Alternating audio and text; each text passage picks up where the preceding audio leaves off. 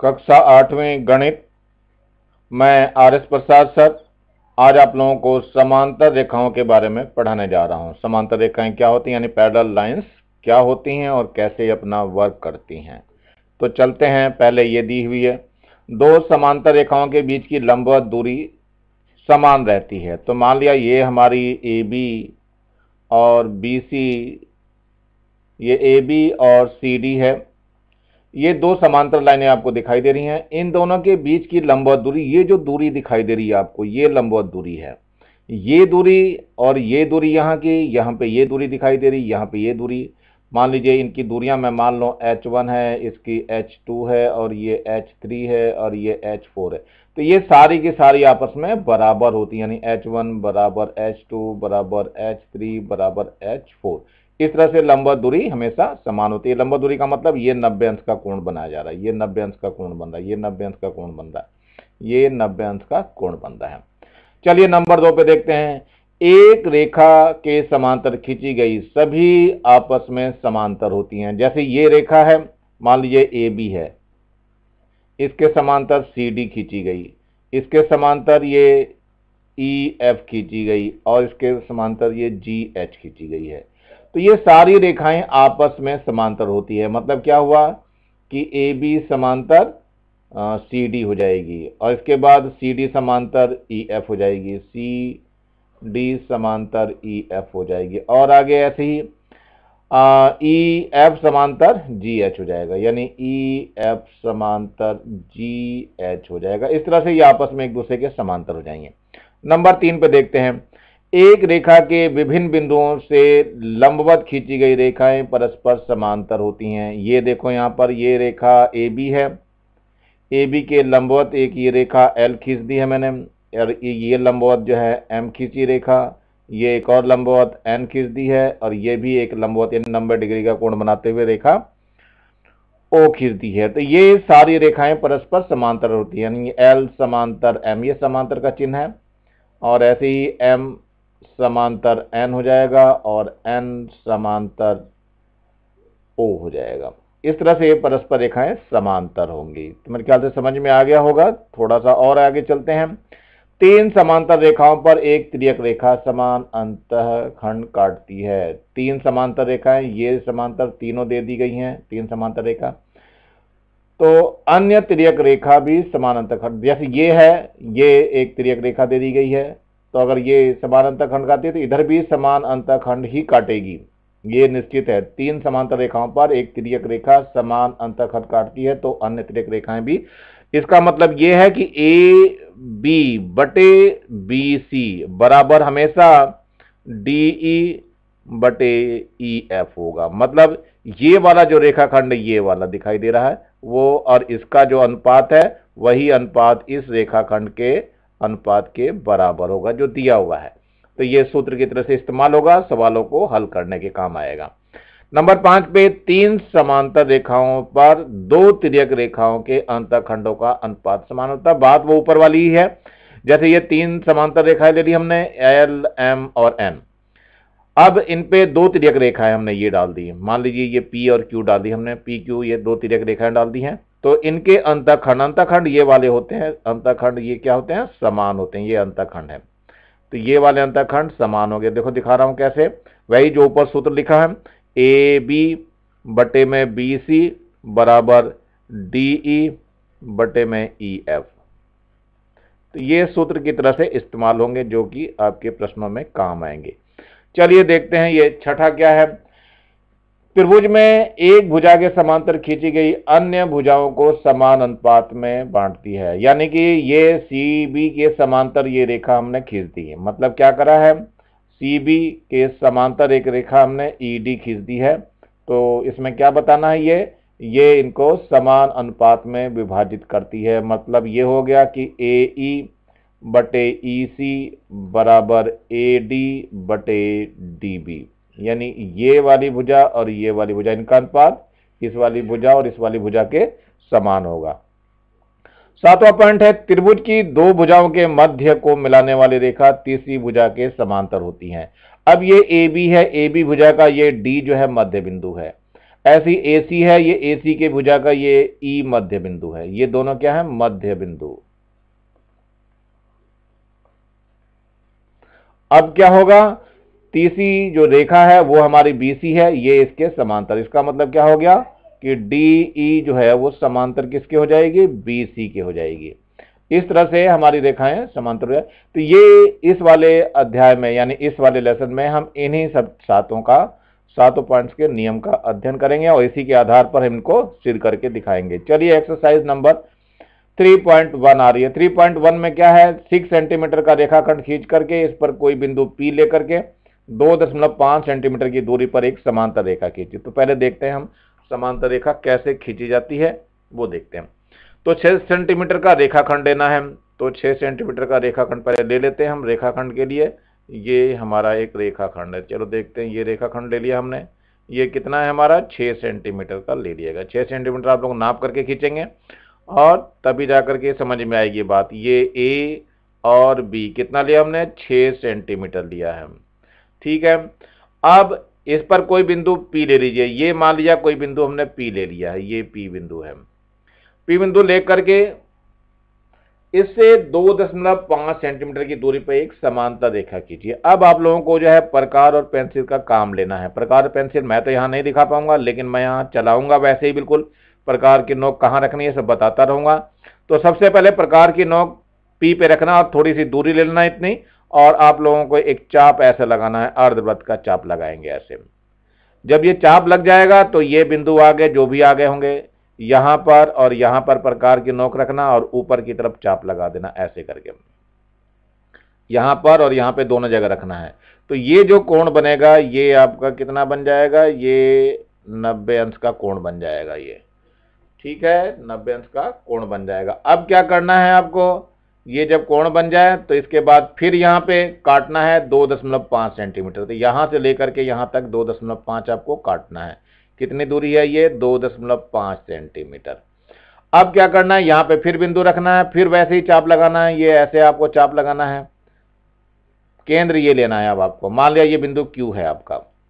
तो यहाँ से लेकर के फिर ये चाप लगाना, और चाप लगाने के बाद फिर यहाँ रख करके और यहाँ रख करके ये चाप आपको इधर लगाने हैं। ऐसे लगेंगे चाप। और इनको मिलाते हुए एक रेखा खींचनी है आपको। ये। और इस रेखा का नाम देंगे आप लोग ई e एफ़ तो यही रेखा जो है ए बी रेखा के समांतर होगी। इतना आप लोगों को करना है। तो क्या क्या करा हमने? तो सबसे पहले इसको लिखना पड़ेगा स्टेप। नंबर एक है ए बी बराबर छ सेंटीमीटर का रेखा खंड खींचा। पहला हो गया। दूसरे नंबर पे क्या है? बिंदु P पर 90 अंश का कोण प्रकार की सहायता से।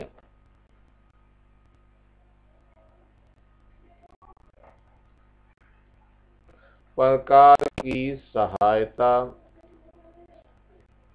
से बनाया। नंबर तीन, इस लंब में पी से दो दशमलव पाँच सेंटीमीटर की दूरी पर एक बिंदु क्यू लिया।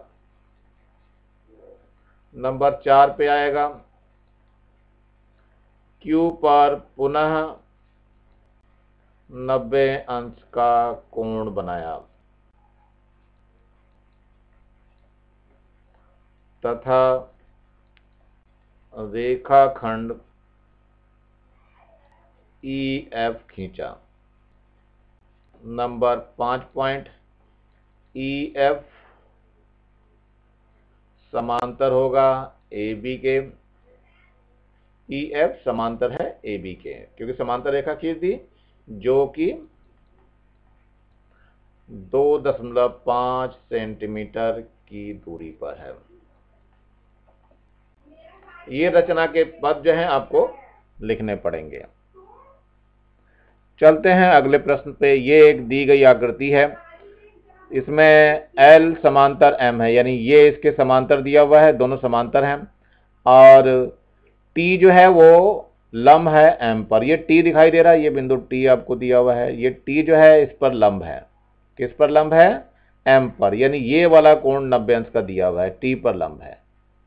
तो ये बताना है एम और एन समांतर हैं क्या? ये और ये दोनों समांतर हैं। और क्या बताना है? एल और एन समांतर हैं, यानी ये दोनों समांतर हैं। तो क्यों है? अब ये देखना पड़ेगा हमें।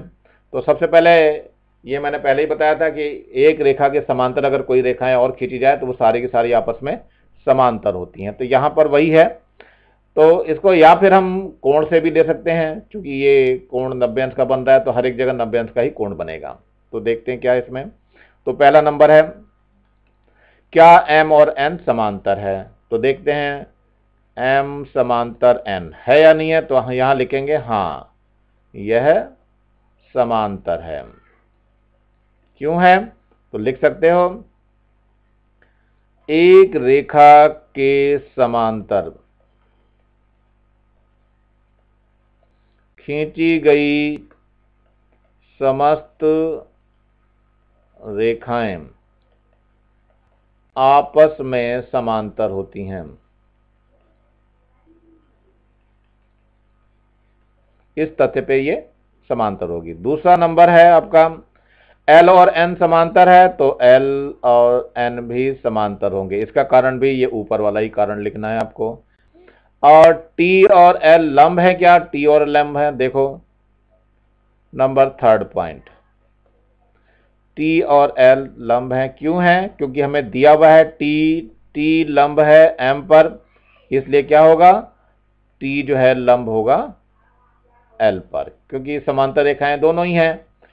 क्योंकि दोनों समांतर रेखाएँ हैं, इसलिए इस पर लंब होगा। तो यहाँ लिख देना, चूँकि दोनों ही समांतर रेखाएँ हैं,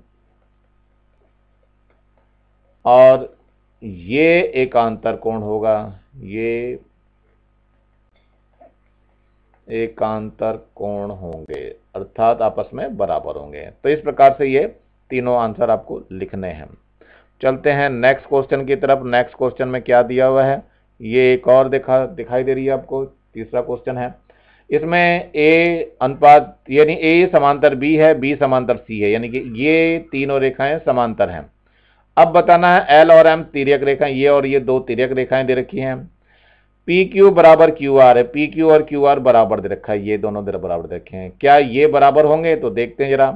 पी क्यू बराबर क्यू आर दिया हुआ तो इसमें देख लेते हैं, चूँकि तीनों समांतर रेखाएँ हैं तो इनके बीच का रेखाखंड जो है बराबर होता है। तो ये यहाँ लिख देना, चूँकि ए समांतर बी समांतर सी है, इसलिए क्या होगा, ये पी क्यू बटे में क्यू आर बराबर हो जाएगा ओ एन और बटे में एन एस देखते हैं जरा क्या होता है इसमें।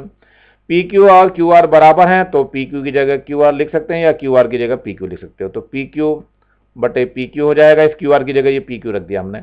बराबर ओ एन और बटे एन एस तो ये दोनों कट जाएगा और एक आ जाएगा, इसकी ब्रज गुणा कर दीजिए। तो ओ एन बराबर क्या हो जाएगा? एन एस यही हमारा आंसर है। तो ये हाँ लिखना है आपको answer.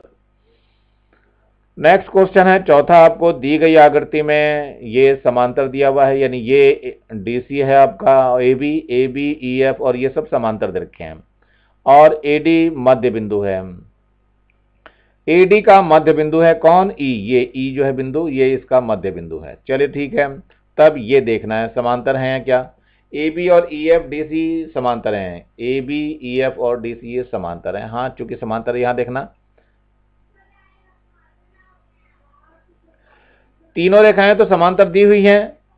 A B D C और ई एफ़ ए बी देखो ए बी समांतर डी सी है।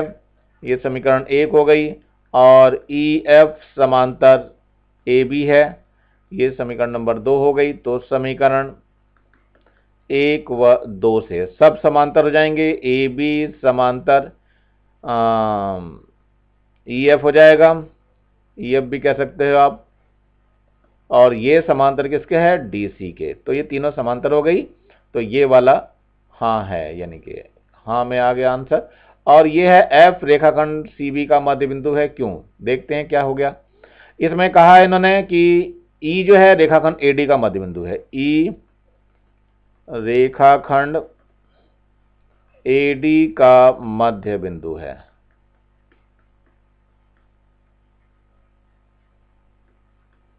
इसलिए क्या चीज़ बराबर होगी? डी ई बराबर ई ए हो जाएगा। लेकिन समांतर रेखाओं का हम नियम लगाएँगे। यहाँ पर क्या हुआ? इसमें ये समांतर रेखाएँ हैं क्योंकि कौन कौन सी? ए बी समांतर ई एफ़ और समांतर डी सी है। तो इसका मतलब इनके बीच जो आते हैं, वो अनुपात समान होते हैं। यानी कि डी ई बटे में ई ए बराबर सी एफ़ बटे में एफ़ बी तो ये मान हम रख दें डी ई की जगह ई ए तो यहाँ ई ए रख देते हैं, और यहाँ पे ई ए पहले से मौजूद है सी एफ़ हो गया, बटे एफ़ बी हो गया, ये दोनों कट जाएँगे, एक आ जाएगा ब्रज इसकी ब्रज गुणा कर दीजिए। तो सी एफ़ बराबर क्या हो गया? एफ़ बी इसलिए एफ़ बी सी का मध्य बिंदु है। इस तरह से आपको दिखाना पड़ेगा। चलिए थोड़ा सा और आगे बढ़ते हैं हम लोग। अगले प्रश्न की तरफ़। अगला प्रश्न पांचवा ये दिया हुआ है आपको। इसमें दी गई आकृति एल ये वाली एल एल एम और एन तीनों समांतर दिए हुए यानी कि एल समांतर एम समांतर एन दिया हुआ है। अंत खंडों का अनुपात बराबर होगा तो बिल्कुल बराबर होगा इसमें। इसका मतलब ये हो जाएगा कि ए बी बटे बी सी बराबर हो जाएगा डी ई बटे में ई एफ़ ये तो हमारा पीछे हमने बताया ही था कि ये जो रेखाखंड आपके दिखाई दे रहे हैं, इन रेखाखंडों का अनुपात हमेशा स्थिर रहता है, यानी बराबर रहते हैं। ये इनके बराबर रहेंगे। यही इसमें दिया हुआ है। तो ये पूछा है, अनुपात बराबर होगा तो हाँ होगा ये। चलिए नेक्स्ट क्वेश्चन की तरफ़ बढ़ते हैं जरा छठा क्वेश्चन है ये। इसमें डी ए सी बी और ओ एम ए बी पर लंब है। ये दिखा दे रहे हैं हमको। ये डी ए और ये सी बी ए बी पर लंब है। ये सारे के सारे लंब हैं, यानी ये भी लंब है, ये भी लंब है और ये भी लंब है। अब आपको इसमें दिया हुआ है ओ ए का मान दो दशमलव चार, यानी ओ ए, ये दिया हुआ ओ ए, इसका मान दो दशमलव चार है। ये दो दशमलव चार दिया हुआ है। ओ सी का मान दिया हुआ है तीन दशमलव छः ये है ओ सी ओ सी का मान है तीन दशमलव छः सेंटीमीटर। तो ए एम बटे बी एम बताना है, यानी ए एम कहाँ गया? ये ए एम और बटे में बी एम, इसका मान बताना है। चलो देखते हैं क्या हो गया। अब इसमें चूँकि ये समांतर रेखाएँ हैं, चूँकि ए डी समांतर जो है ओ एम है और ये समांतर आपका किसके हो गया? बी सी के। तीनों रेखाएँ समांतर है क्योंकि परस्पर लंबवत हैं। यहाँ लिख देना, सभी ए बी के लंबवत हैं। और जब ये लंबवत होंगे तो बाकी रेखाएँ आपस में ये समांतर हो जाएँगी। चलते हैं अब इसमें क्या हो जाएगा? जब ये समांतर होगी तो इनका अनुपात भी समान होगा। अब इसमें, इसलिए क्या हो जाएगा? त्रिभुज ए बी सी में। त्रिभुज ए बी सी में क्या हो गया? ओ एम समांतर है बी सी के तो इनका अनुपात स्थिर हो जाएगा। यानी कि ए एम बटे एम बी बराबर कितना हो जाएगा? ए ओ बटे ओ सी मान रख दें इसका। ए ए ओ का मान हमें पता है, कितना है? ए ओ का मान दो दशमलव चार सेंटीमीटर ओ सी का मान तीन दशमलव छः दिया हुआ है। तो देखते हैं क्या आता है, ये दशमलव से दशमलव हट जाएगा, और चार छिंग चौबीस और चार नम छत्तीस। तीन से काट दीजिए, तीन दूनी छः और तीन तिया नौ। तो हमें इसी का मान बताना था, दो बटा तीन इसका आंसर हो जाएगा। देखते हैं और कुछ कहा है। बी ओ का मान दिया हुआ है इन्होंने तीन सेंटीमीटर। बी ओ ये तीन सेंटीमीटर दिया हुआ है और डी ओ का मान बताना है, यानी इसका मान बताना है। तो इसमें भी देखो कैसे लेना है। इसमें भी क्या करना है, त्रिभुज बदल लेंगे। त्रिभुज बी ए डी में। इसमें क्या है ओ एम समांतर है किसके? ए डी के। देखो, ये ओ एम समांतर ए डी के हैं। तो इन भुजाओं का अनुपात स्थिर हो जाएगा। यानी कि बी एम डी ओ बटे ओ बी यानी ये हो जाएगा डी ओ बटे ओ बी बराबर ए एम बटे एम बी ये सूत्र लग जाएगा डी ओ का मान कितना है? निकालना है। ये डी ओ निकालना है, लेकिन ओ बी का मान कितना दिया हुआ है ये? ओ बी का मान तीन है, और ये ए एम बटे एम इसका मान जो हमने ये निकाला था दो बटे तीन तो इसको दो बटे तीन रख दीजिए। तीन से तीन कट जाएगा तो डी ओ बराबर हो जाएगा दो सेंटीमीटर, और यही आंसर आ जाएगा। चलिए अगली एक्सरसाइज की तरफ़ चलते हैं, तीन दशमलव दो। नीचे दी गई आकृति है और डी ई समांतर बी सी यानी कि डी ये वाली इस बी सी के समांतर दी हुई है। ए डी बराबर एक दशमलव पाँच है, ये ए डी दिया हुआ एक दशमलव पाँच और डी बी तीन सेंटीमीटर है डी बी जो है आपको तीन सेंटीमीटर दिखाई दे रही है। ई सी का मान चार है, यानी ये वाली ई सी चार सेंटीमीटर है तो हमें ए ई का मान निकालना यानी ये क्वेश्चन मार्क है। तो चलिए देखते हैं कैसे हो जाएगा। तो सबसे पहले त्रिभुज ए बी सी में क्या हो जाएगा? ये जो डी ई है, ये समांतर है किसके? बी सी के। अब जब समांतर होगी तो ये भुजाओं का अनुपात स्थिर होता है, यानी ए बी बटे डी बी यानी ये बटे ये बराबर ये बटे ये। तो ए ई बटे ई सी हो जाएगा। अब सारे मान देख लीजिए। पहले ए डी का मान दिया हुआ है हमें। इसमें ए डी होना था नॉट बी ये ये डी है आपका तो ए डी का मान एक दशमलव पाँच है, रख दीजिए इसमें। एक दशमलव पाँच। और इसके बाद डी बी का मान देखो, ये तीन दिया हुआ है तो यहाँ तीन रख दीजिए। और दशमलव ज़ीरो लिख करके इसका दशमलव को हटा देंगे। ए ई का मान निकालना है तो उसको ऐसे रहने दीजिए। और ई सी का मान ये चार दिया हुआ है, इसकी जगह चार रख दीजिए। तो काट देते हैं पंद्रह एकम पंद्रह पंद्रह दूनी तीस हो गया तो ए, ई का जो मान आ जाएगा, एक बटा दो, ये चार की इधर गुणा हो जाएगी। दो से कटेगा, दो आ जाएगा तो ए, ई बराबर कितना हो जाएगा? दो सेंटीमीटर हो जाएगा, यही आंसर होगा। इसके बाद चलते हैं नंबर दो पे, सात दशमलव पाँच सेंटीमीटर का रेखाखंड खींचिए और इसे तीन समान भागों में विभाजित कीजिए। प्रत्येक भाग की लंबाई नापिए। चलिए देखते हैं, पहले हम एक रेखाखंड खींचते हैं, फिर इसके तीन समान भाग करते हैं। तो सबसे पहले रेखाखंड का नंबर लगाते हैं। ये हमने एक रेखाखंड खींच लिया और इसमें कितना खींचा है इसको? सात दशमलव पाँच का खींचा है। तो सबसे पहले इसका सात दशमलव पाँच ले लेते हैं। ये हो गया ए और ये बी है। ये हमने कितना लिखा है? सात दशमलव पाँच सेंटीमीटर। अब क्या करना है? इसके नीचे की ओर एक लाइन खींचनी पड़ेगी हमें किसी कोण को बनाते हुए तो वो भी ज़रा देखते हैं लाइन कैसे खींची जा रही है। चलिए देखते हैं, एक लाइन खींच लेते हैं। तो हमने ये एक लाइन खींची इधर, नीचे की तरफ़ कोई भी कोण बनाते हुए, ये हमने खींच ली है। अब लाइन खींच गई है तो इसमें क्या करना है हमें? इसके तीन बराबर भाग करने हैं। तो हमने क्या करा? एक भाग ले लिया, और ये दूसरा भाग प्रकार से लेने हैं, ये सब नापने हैं। प्रकार की ये नोक यहाँ रखनी है और एक ये बिंदु यहाँ लिखेगा, एक आ जाएगा, फिर यहाँ प्रकार की नोक रखोगे तो यहाँ कटेगा, ये दो आएगा और फिर प्रकार की नोक यहाँ रखना है और ये कटेगा तो तीन आएगा। लास्ट वाले बिंदु को आपको मिला देना है यहाँ से। जब ये मिल जाए तो इस कोण के बराबर यहाँ पे कोण बनाना, जितने का ये चाप बनाया उतने का चाप आप लोग लगा लेंगे ऐसे ऐसे करके पहले। हर एक जगह चाप लगा लिया आपने।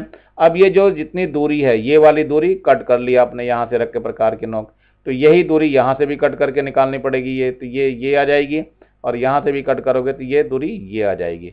अब इसको मिलाते हुए चला देंगे हम आगे की और ये बढ़ा देंगे आप, ये आ गया। और ये भी बढ़ा देंगे, ये आ गया।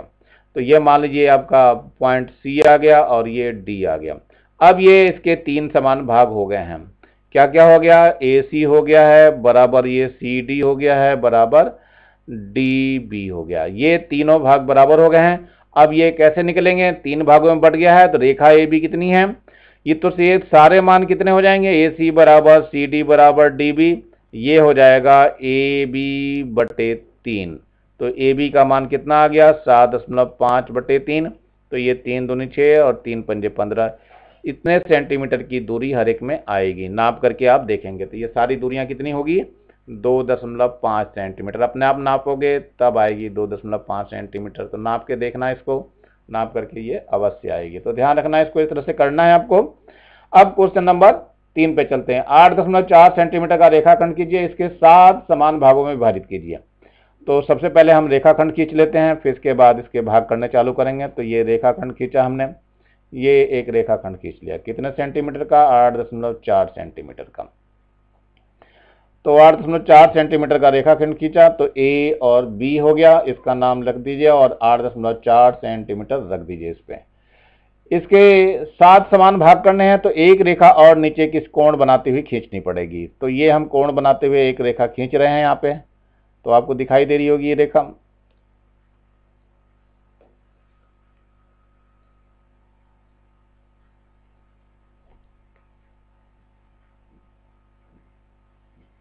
ये रेखा थोड़ी सी बड़ी खींचेंगे आप कोण बनाते हुए। तो ये आपकी रेखा आ गई। मान लिया इसका नाम हमने दे दिया। ये ए बी सी हो गया। अब प्रकार की नोक रख करके इसके सात भाग करने हैं। प्रकार के नोक आपको यहाँ रखना है और इसके सात भाग करने हैं। तो एक भाग हो गया, यहाँ पे ये दो हो गया, ये तीन हो गया, अब यहाँ पे चौथा हो गया, ये पांचवा हो गया और ये छठा हो गया, ये सात भाग इसके हो गए अब क्या बिल्कुल वैसे ही करना है कि इसको और इसको मिला देना है लास्ट वाले को? तो जरा देख लेते हैं मिला करके ये। आप लोग अपने स्केल से मिलाएँगे, मैं तो हाथ से ही मिला रहा हूँ। चलिए, ये हो गया। अब क्या करना है? इस कोण के बराबर हर एक जगह पे कोण बनाना पड़ेगा। तो मैंने ये एक चाप लगाया ऐसे तो ऐसे ही चाप आपको हर एक पे लगाने हैं ऐसे ही करके।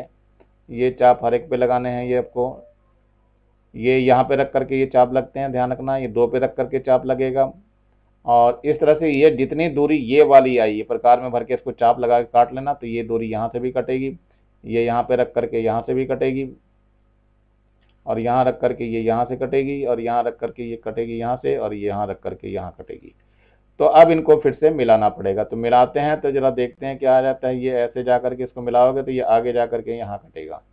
ऐसे ही आप इसको मिलाएँगे आप तो ये जो है आपका थोड़ा सा इधर आना चाहिए था। ये ऐसे आना चाहिए था। तो ये आपका इस तरह से कटेगा, यहाँ आ जाएगा। ऐसे ही इसको मिलाएँगे आप तो ये कटेगा यहाँ पे। ऐसे ये मिला दीजिए इसको तो ये यहाँ आएगा और ये भी इसको मिला दीजिए, यहाँ आ जाएगा। तो मान लीजिए इसके नाम ये बी दिया था, इसका नाम सी इसका डी इसका ई e और ये एफ़ और ये जी इस तरह से इसके पूरे के पूरे सात खंड हो जाएँगे। एक, दो, तीन, चार, पाँच छः सात हो जाएँगे। कितने हो गए? यहाँ का रह गया है आपका, यहाँ पर भी कोण बनाना था अभी। तो इसको बना दीजिए इस तरह से, ये मिला दीजिए। तो इसका नाम भी कुछ दे दीजिए जी एच एच दे दीजिए। तो इस तरह से करके ये सारे सात खंडों में बढ़ जाएगा। ये प्रकार से बनाएँगे तो ये दूरियाँ समान आएँगी। ये थोड़ा हाथ से बना रहा हूँ, इसलिए दूरी थोड़ी अलग अलग आ रही है। चलिए थोड़ा सा आगे देखते हैं। दस सेंटीमीटर रेखाखंड खींचिए, उसका दो अनुपात, तीन के अनुपात में विभाजित कर दीजिए। तो पहले हम क्या करेंगे? एक रेखाखंड खींचेंगे और रेखाखंड के लिए हम दस सेंटीमीटर की लाइन लेंगे। तो ये दस सेंटीमीटर ले लीजिए। ये दस सेंटीमीटर का रेखाखंड हो गया। रेखाखंड दस सेंटीमीटर का होगा इस पर नाम लिख लीजिए ए बी और इस पर दस सेंटीमीटर लिख दीजिए। क्या करना है? इस पे भी नीचे की तरफ़ खींचना है और ये अनुपात को पहले जोड़ लीजिए। दो प्लस तीन बराबर हो जाएगा पाँच। तो पाँच खाने काटने पड़ेंगे इसमें। तो नीचे की तरफ़ आपको क्या करना है? एक लाइन खींचनी है और लाइन खींच करके ये ये लाइन खींची आपने। ये लाइन खींच गई। ठीक है? और इसका नाम दे दीजिए। नाम क्या है इसका? इसका नाम है बी, सी सी नाम दे दिया। अब इसके कितने भाग करने हैं? पाँच भाग करने हैं। तो पहला एक हो गया यहाँ पे। ये प्रकार के नोक से होगा। देखो, प्रकार के नोक एक पे रखना और ये कट मारना है ऐसे, चाप लगाना। एक हो गया, फिर यहाँ पे रखना। यहाँ पे कट मारोगे तो दो हो जाएगा। फिर यहाँ रख करके यहाँ पे कट मारेंगे तो तीन हो जाएगा। फिर यहाँ पे नोक रख करके यहाँ रखेंगे तो ये चार हो जाएगा। फिर यहाँ नोक रख करके यहाँ रखेंगे तो ये पाँच हो जाएगा। अब इसको मिला दीजिए इस तरह से। पाँच वाले को मिलाना है आपको, ये यहाँ से मिल जाएगा। पर ये स्केल से मिलाना, आप लोग हाथ से नहीं मिलाओगे, मैं तो हाथ से मिला रहा हूँ। चलिए ठीक है। इसके बाद क्या करना है, इसको देख लीजिए, दो अनुपात तीन है तो दो यहाँ पर आ गया, बाकी तीन बच गया यहाँ पे। तो यहाँ से इतना ही कोण बनाना है, जितना कोण आपने यहाँ बनाया तो ये पहले इस तरह से चाप लगाएँगे। तो दो पर ही तुम्हें चाप लगाना है, ऐसे फिर से, उसी दूरी से। तो ये जितनी दूरी दिखाई दे रही है आपको यहाँ तक की, ये चाप पहले काट लीजिएगा, फिर यहाँ पर भी रख करके चाप आपको काटना पड़ेगा। ऐसे ही तो मैंने चाप काट लिया उतने ही बराबर से, अब इसको आगे बढ़ा देते हैं ये। तो जहाँ पर कट मारेगा, वो बिंदु पी हो जाएगा। तो ए पी अनुपात पी बी ये जो है आपका दो अनुपात तीन होगा। यही अभिष्ट है। इसी को लिखना पड़ेगा। पदों को आपको अपने आप लिखना है। पद अपने आप लिख लेंगे। जैसे जैसे बनाया वैसे वैसे। मैं बोल दे रहा हूँ वैसे लिख लेना आप लोग। ए बी एक रेखाखंड दस सेंटीमीटर खींचा। ए से किसी कोण को बनाते हुए एक रेखाखंड ए सी खींचा गया। ए सी पर प्रकार की सहायता से पाँच समान भाग काटे गए।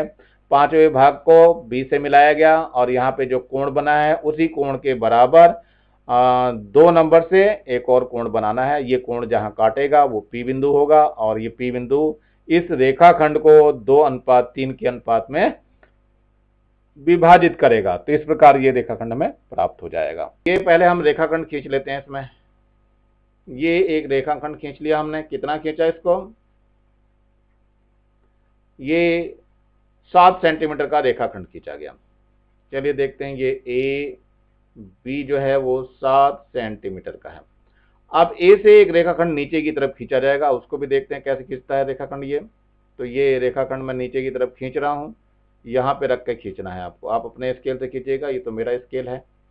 और इसका कुछ नाम दे दीजिए, नाम ज़रूरी होता है इनको देना तो ए सी हो गया इसका नाम, समझ लीजिए। अब क्या करेंगे? इसके पाँच भाग करेंगे पूरे।